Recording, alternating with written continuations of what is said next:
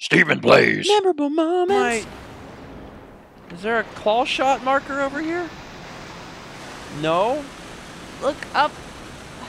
What? What? Yes, there's like a big old nipple on the on the friggin' ceiling, but I, Exactly. I don't know what that has to do with anything. Shoot it down. It's it's not a stalactite. Yes, it is. It is not. It's.